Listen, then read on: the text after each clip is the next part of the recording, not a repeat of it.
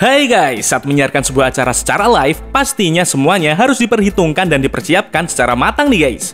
Terlebih lagi saat melakukan siaran langsung pada stasiun televisi. Tapi faktanya nih guys, pada siaran langsung yang dilakukan TV di Indonesia berikut ini, ada beberapa kejadian yang tak terduga dan bikin kacau saat live nih guys. Nah, kali ini kita bakalan bahas momen-momen kacau saat live TV. Tapi sebelum lanjut, kita ngintin lagi nih. Buat yang belum, jangan lupa subscribe channel kita.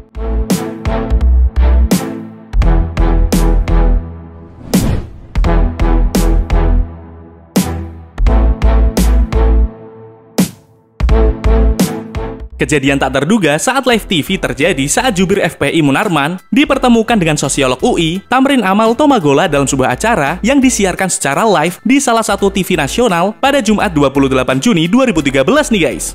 Saat itu mereka sedang membahas masalah ormas yang melakukan aksi sweeping atau razia di bulan Ramadan. Tapi siapa sangka nih guys, suasana menjadi panas saat jubir FPI Munarman saling adu argumen dengan sosiolog Tamrin Amal Tomagola.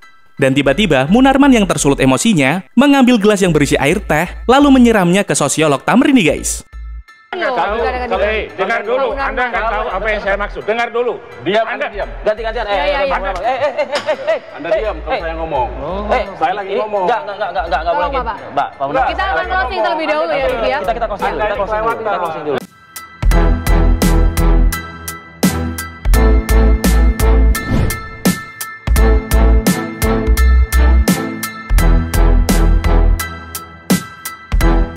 Pada tahun 2017, di Indonesia sedang hangat berita tentang masalah Indonesia darurat utang nih guys.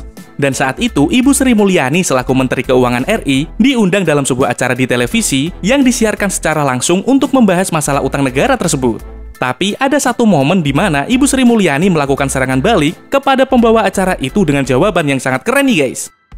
sebenarnya gak ada hubungannya dengan mandiri, eh, berdaulat. Itu adalah hal yang biasa dalam mengelola perekonomian Saya ingin bertanya negara. saja di seluruh dunia ada nggak negara yang tidak punya utang? Hampir tidak ada. Negara yang mungkin dibayangkan sama pemirsa kayak tetangga sebelah kita aja lah, Singapura, Malaysia kan kita selalu merasa bahwa kita, oh mereka lebih kaya dari kita. Utang mereka lebih kecil atau lebih banyak dari kita? Bu Ani ada tudingan Enggak, bahwa itu pertanyaannya harus dijawab dulu, Ros. Kan?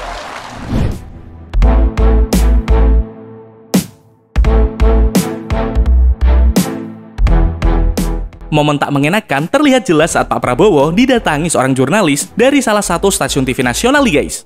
Terlihat raut muka Pak Prabowo yang mengisyaratkan penolakan atas kehadiran jurnalis tersebut. Dan beliau memberi pernyataan pedas sebagai bentuk penolakannya nih guys. bisa masuk ke sini nih kompas. Eh?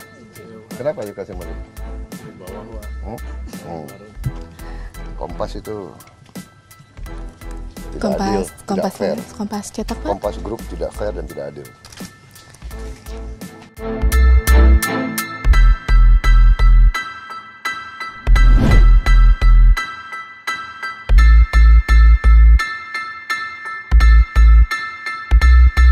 Kalau ngomongin sosok seorang Basuki Cahayapurnama, kita pasti akan teringat dengan sosok beliau yang tegas dan berapi-api nih guys. Dan faktanya, Bapak Basuki Cahayapurnama pernah memberi jawaban menohok saat diwawancarai salah satu stasiun TV nasional saat sedang live.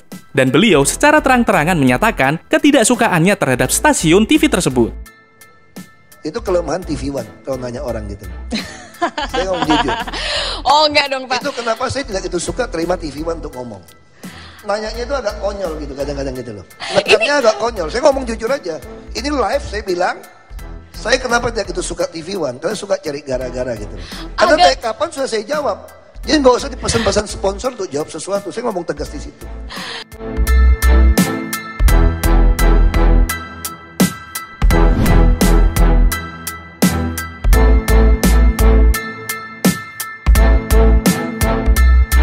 Pak Anies Baswedan juga pernah terlihat menahan emosi marahnya ketika mendapat pertanyaan yang seolah menyudutkannya nih guys. Dan coba kalian lihat jawaban menohok dari Anies Baswedan menanggapi pertanyaan dari seorang jurnalis saat siaran di televisi.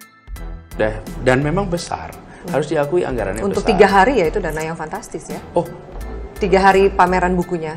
oh, aduh, Anda salahnya agak fatal di situ. Nah, di mana fatalnya ketika saya mengatakan pamerannya tiga hari dengan anggaran 146 miliar. Anda bisa jelaskan? Oh iya, Mhm. kegiatannya udah Di- banyak. Jadi kegiatan di berbagai kota. Mhm. Nah, puncaknya memang tiga hari. Hmm. Tapi Persiapannya sudah dari sekian bulan bukan, sebelumnya. bukan persiapan, eventnya di banyak tempat, Hmm, di banyak kota, di banyak tempat. Jadi anda jangan ikut dalam framing pelapor. Mhm. Lalu eh, kita, saya rasa apalagi sebagai jurnalis yang objektif, itu akan bisa melihat informasi secara lengkap, Hmm. baru kemudian ikut menggandakan. Kalau enggak, anda ikut dalam framing itu. Ini kegiatan jurnalis yang objektif menanyakan langsung ke narasumber yang disebutkan. Objektif Mas Arif? tentu, tapi saya jangkapi dulu. Anda objektif dalam artian berikan, tapi Anda ikut di dalam framing yang Mhm. sudah dibuat. Padahal Anda bisa cek dulu sebelum bertanya.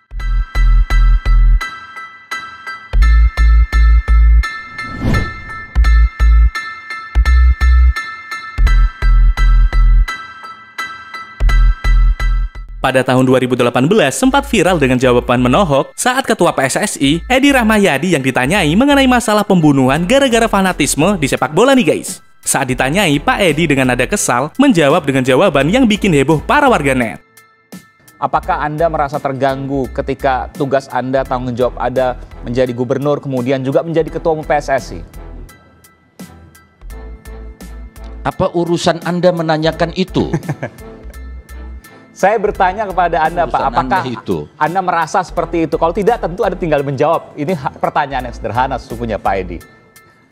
Eh, Bukan hak Anda juga bertanya kepada saya. Wartawan punya hak untuk bertanya apa saja, Oke, Pak terima Edi. kasih.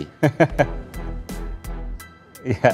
Saya juga punya hak untuk tidak menjawab. Saya menghormati hak Anda untuk tidak menjawab, Pak.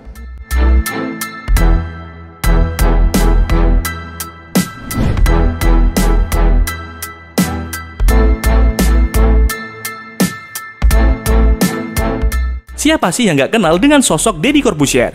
Ternyata nih guys, Deddy Corbuzier pernah memberi jawaban menohok saat ditanya oleh pembawa acara di salah satu stasiun TV saat sedang live nih guys. Saat itu, pembawa acara tersebut menanyakan tentang kebenaran mengenai argumen-argumen yang diucapkan Deddy Corbuzier tentang kasus kematian Angelin, bocah 8 tahun yang dibunuh secara mengenaskan. Pembawa acara itu menanyakan apakah benar argumen dari Deddy Corbuzier itu merupakan bentuk empati yang tulus atau hanya langkah untuk cari sensasi semata. Dan lihat nih, gimana cara seorang Deddy Corbuzier menjawab pertanyaan tersebut nih guys. Oke, Mas Deddy, mohon maaf sebelumnya karena ada sebagian pihak yang menganggap ini hanya langkah Anda untuk mencari sensasi agar lebih populer di saat Itu menarik sekali. Banyak yang bilang, oh ini langkah saya cari sensasi. Sama kayak TV One. Ini langkah Anda yang nyari rating. Oke. Apa bedanya? TV One menyiarkan ini berarti langkah TV One untuk cari rating. Benar tidak? Saya tanya balik, benar tidak ini TV One untuk rating? No comment. No comment. Nggak bisa jawab dia. Kalau saya mah tidak nyari sensasi, saya udah terkenal. Saya tiap hari ada di TV mau nyari sensasi apaan?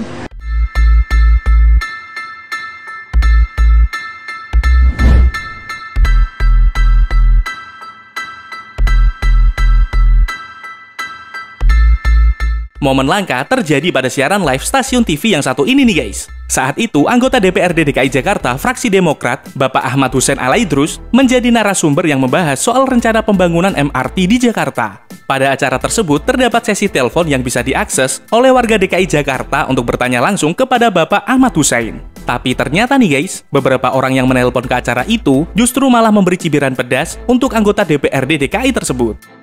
Telepon yang baru masuk. Halo, selamat malam. Halo, selamat malam. Ya, dengan Bapak siapa dari mana, Pak?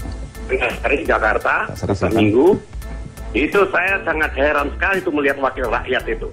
Kok tidak mempertimbangkan beban rakyat? Emangnya uang dari mana itu wakil wakil wakil rakyat dari mana itu? Pakai otak dong jadi wakil rakyat. Baik, Pak Ri, terima kasih. Teh, saya angkat telepon lagi. Halo, selamat malam. Halo, selamat malam, Pak. Dengan Ibu siapa, Bu? Dari mana? Bu Astri, Bekasi. Bu Asri, silakan, Bu. Saya sarankan kalau ngundang eh, dari anggota DPR tuh yang smart dong, Pak. Yang menguasai masalah. Ya. Kenapa, Bu? Ibu pikir gitu kenapa? Dia dua dua periode dia DPRD. Kok Iya. sekarang ributnya minta ampun? Hmm. Masalah MRT. Dulu tuh ngapain aja dia? Oke, kita sapa dulu telepon yang baru masuk. Halo, selamat malam. Halo, selamat malam. Ah, dengan Bapak siapa dari mana, Pak? Ada Irianto Cengkareng. Silakan Pak Anjuk. Ah, gitu ya Pak. Saya mau tanya itu ah, wakil rakyat atau tikus rakyat sih itu? Dengan sekian Langsung ke intinya, Pak Irianto. Ditambah. Langsung ke intinya, Pak Irianto.